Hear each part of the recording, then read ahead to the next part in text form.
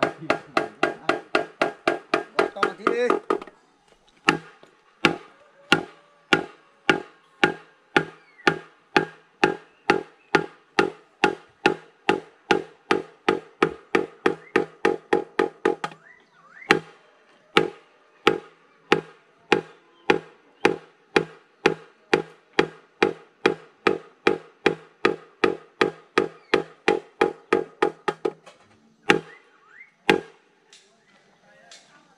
Bạn. là quả ni mà thì tí đấy à Chắc thế thay nhau thì nào mà tân chắc thế thay nhau. Chả gì thế còn ni mà thì thế tao à mà ta ta xin ơ. Tân ta ta xin à là Từ thiệt tao là ta ta xin à mà Nhìn đây là ta ta mà ni tân ta mà. Là hà ni là ba cái ni tôi sao Chả gì thế còn ni mà thì thế ta mà tân ta ơi ta ta xin ơi giờ mà bên nào tè ơi? Tu sẽ ra. Tức nghĩa là gì anh?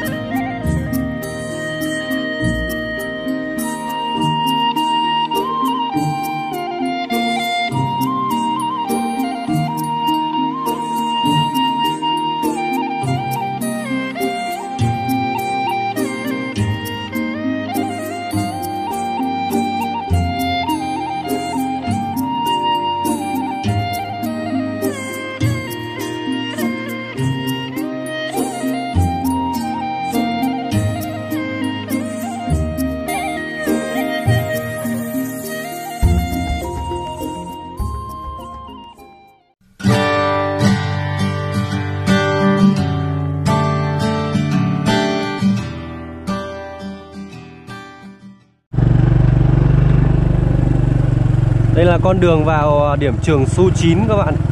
Ở xã Lũng Hồ, Yên Minh, Hà Giang. Nơi mà ông anh mình đang ờ, công tác giảng dạy ở đây. Bây giờ thì mình sẽ ờ, bắt đầu thử thách bản thân chinh phục con đường này. Đi bằng số 2 thôi các bạn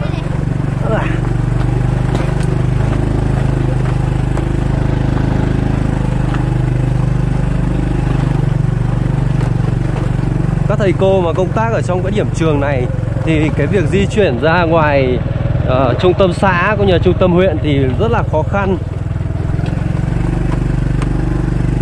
Đường đi rất là khó. Toàn là đá như này các bạn những tảng đá rất là to và nếu mà đi di chuyển nhiều thứ nhất là hại xe và mình điều khiển xe máy thì cũng rất là mỏi tay ở đây thì mình muốn đi một mình và mình phải đi bằng số 2 Nếu không thì sẽ không di chuyển được.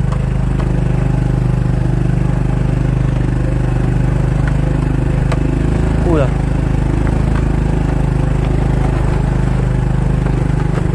Đây là vào những cái ngày khô còn đi ờ, thoải mái hơn. Thuận lợi hơn. Nếu mà các bạn di chuyển vào những ngày mưa nữa thì cái khó khăn nó lại gấp gấp đôi lên nhân đôi lên các bạn ạ.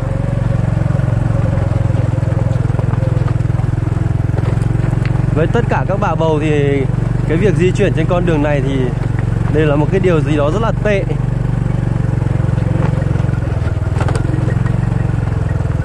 Cho nên là phần lớn các thầy cô ở trong điểm ấy thì chủ yếu là các uh, thầy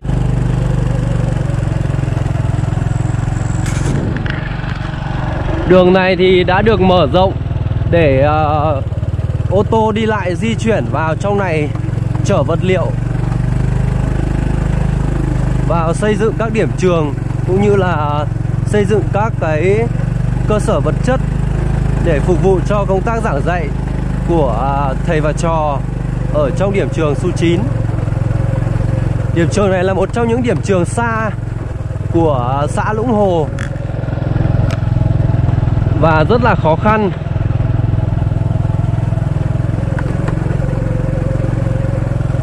Chỗ của à, các thầy ấy thì à, chưa có điện các bạn ạ. Theo như thầy Tuấn chia sẻ ông anh mình chia sẻ thì à, ông anh mình đã công tác ở trong này được hơn hơn 2 năm rồi. Và những cái ngày tháng đầu tiên vào thì chưa có điện. Ờ, cũng như là sóng di động thì rất là kém. Do vậy mà những cái công việc liên quan đến văn bản đến uh, bài giảng cũng như là mail thì vô cùng khó khăn. Bây giờ thì đã được uh, chính quyền quan tâm và đã kéo lưới điện có điện thắp sáng để phục vụ cho sinh hoạt cũng như là trong công tác giảng dạy. Nên là mọi chuyện ờ, đã được cải thiện hơn một chút. Tuy nhiên thì đường đi vẫn là một cái khó khăn vô cùng lớn. Ở đây thì người dân rất là sống rất là thưa thớt Chủ yếu 100% là đồng bào bà con người Hơ Mông. Do vậy mà theo như ờ, ông anh mình chia sẻ tâm sự ấy Thì cái, cái công việc giảng dạy ở đây không chỉ là dạy chữ mà còn phải dạy rất là nhiều vì uh, các bạn cũng biết rồi. Các em học sinh người hơ mông ấy thì cái sự nhận thức có phần hạn chế hơn so với các bạn ở ngoài uh, ngoài kia ngoài xã. Do vậy mà phải là người có tâm huyết và có lòng yêu nghề thì mới đem chữ lên bản được. Thật sự mình rất là nể phục cũng như là đồng cảm với hoàn cảnh của các uh, thầy cô ở trong này.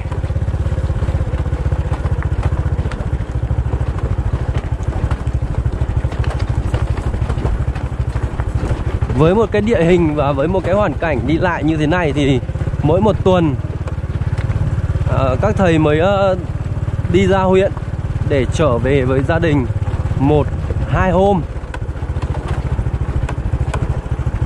Chiều thứ sáu thì các thầy uh, sẽ về quê về với gia đình. Sau đấy là tối chủ nhật các thầy đã lại phải trở về điểm trường để chuẩn bị giáo án sách vở tiếp tục cho một tuần làm việc mới. Do vậy mà cái quỹ thời gian để ở cạnh gia đình ấy thì rất là hiếm.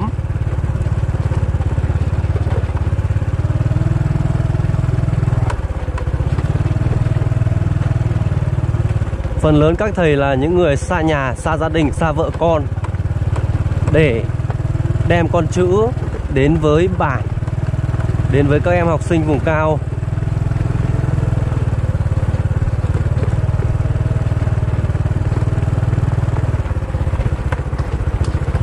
Thật sự rất là mỏi tay các bạn ạ. Mình phải dùng hai tay để lái xe ở con đường này. Nó rất là sóc mình không biết là cái trục trứng mình mua hiện tại nó còn nguyên vẹn cả 10 không nữa. Vì đi con đường này thì lành ít giữ nhiều rồi. Cái điểm trường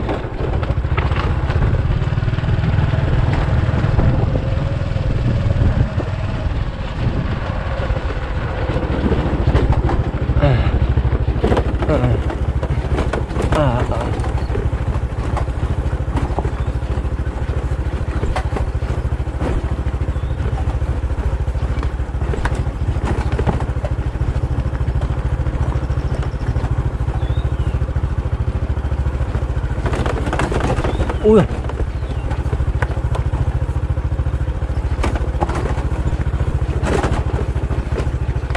ai à ai à.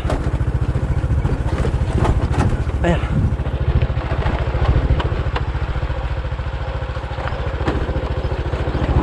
à. À điểm trường mới rất là khang trang rồi các bạn.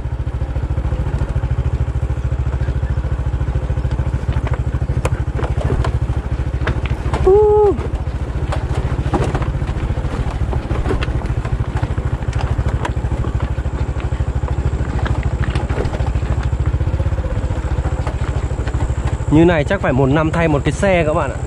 Không thì Đi như này xe rất là nhanh hỏng luôn. À.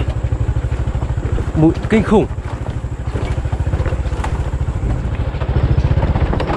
Ui. Xuống thì dễ Không biết mai lên có lên được hay không nữa đây.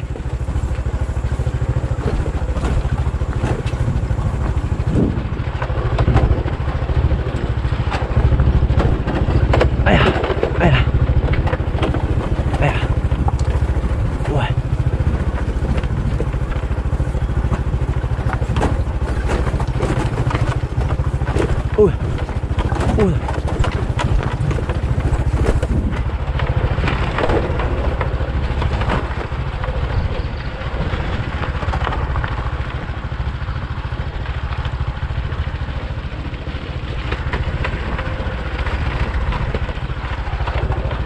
Ở đây chỉ cần sẩy bánh một cái là xuống nương ngô của bà con luôn các bạn.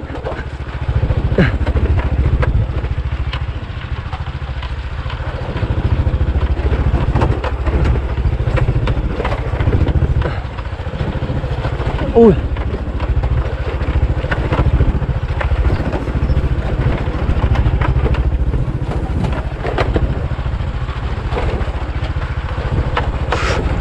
Đường này trời mưa không đi được luôn các bạn. Trời mưa thì nó rất là trơn, đất đỏ này. Vừa trơn vừa dính.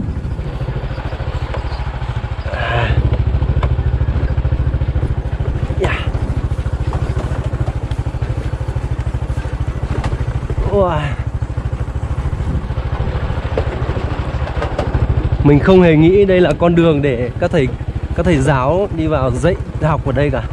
Đây nó như là đường mòn, đường cho bò đi đi đi chăn bò các bạn. Quê mình chăn bò đi đường như này. Chăn trâu chăn bò.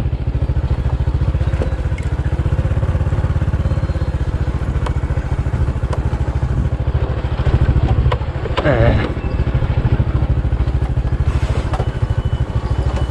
Ai à Ai à Ui ui ui ui. Ui Ui Ui Ui Ui.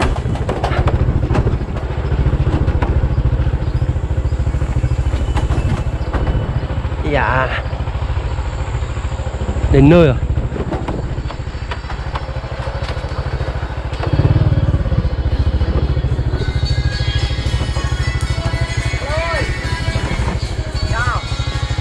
Đây.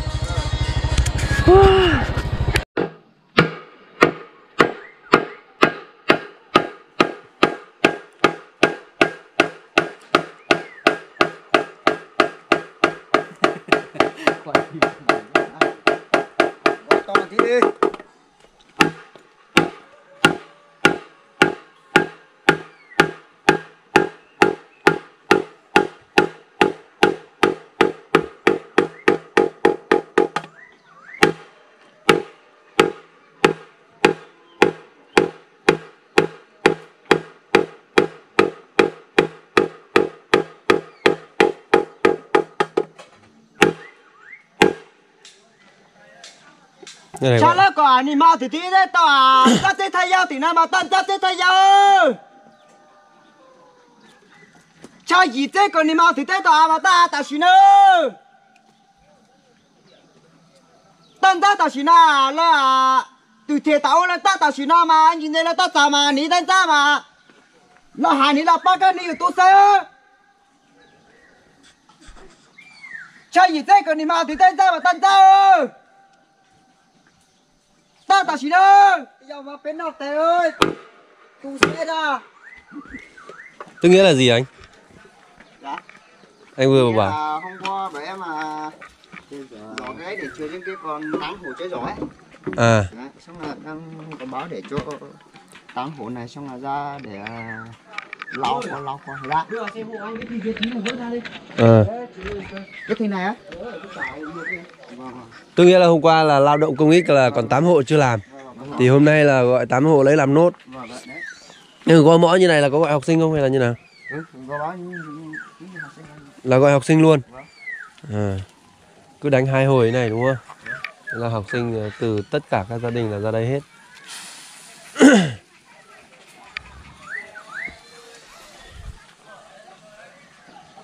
tí tất cả chắc là diễn ở diễn ra ở cái trường ghế ở trường mới hết rồi nhỉ? Ừ.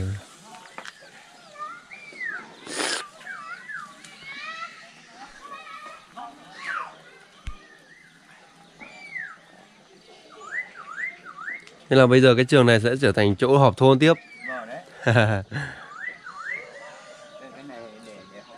Cái trường này là cũng xây dựng được mấy năm rồi chứ? Lâu à? Trước là hội trường đúng không? vâng trước là hội trường đấy Sau đấy lại trở thành ờ, lớp học. Có hai lớp, ba lớp chứ.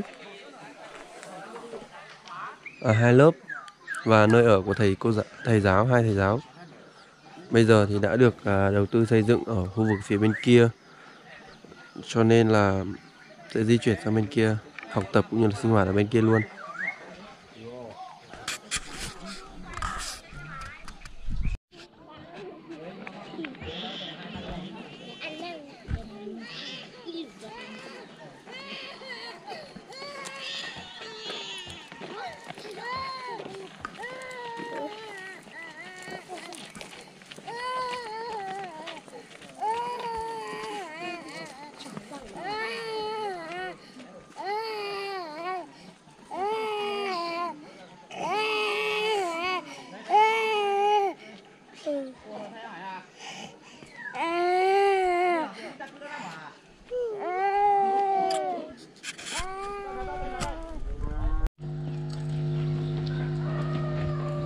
Cái đấy là cái gì đấy máy quay à? Vâng.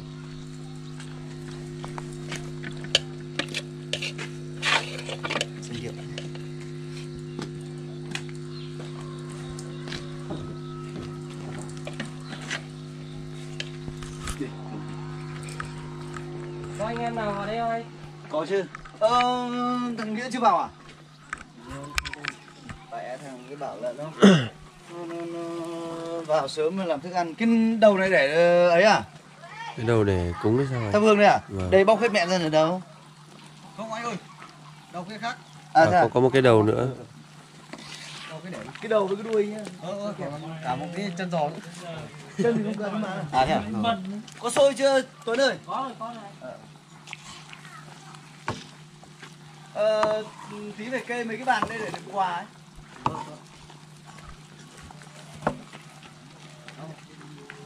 Lấy sang bên kia kia gì anh? ờ kê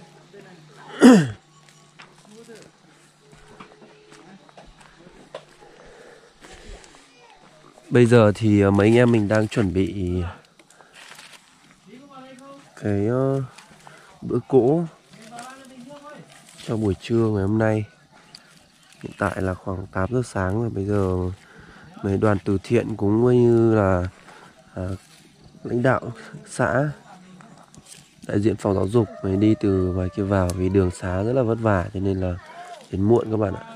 Riêng cái quãng đường ở phía trên hôm qua mình có chia sẻ với các bạn thì nó đã rất là vất vả rồi nên là không thể đến sớm kịp giờ hành chính được vùng cao bao giờ cũng thế đường đi lại nó là một cái gì đó rất là khó khăn rồi ok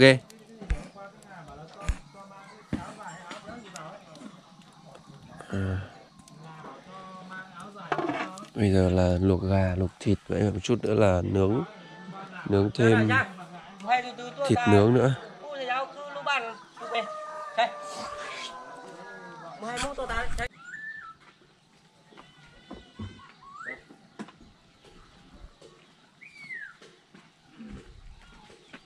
Để vác mẹ một mình cứ vác nhanh nhanh. Vác về.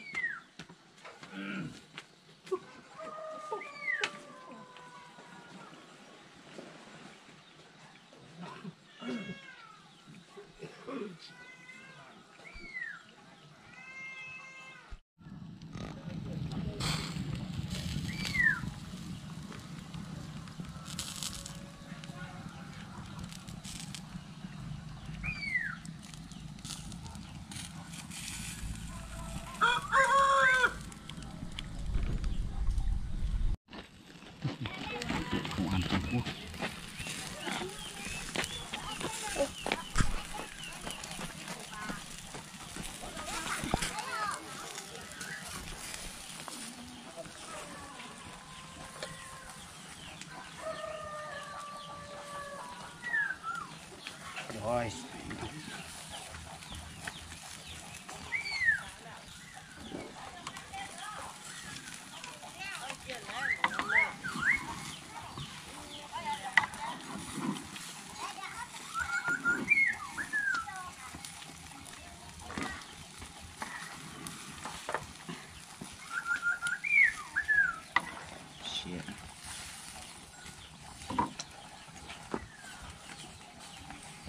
Rồi anh xem gà nhá em ơi. Vâng. Khả năng cho củ nhiều tí thôi còn lớn thịt chứ. Ờ, mua xuân đan lò chỉ cá mua. Đó là ừ, lò chỉ cá đó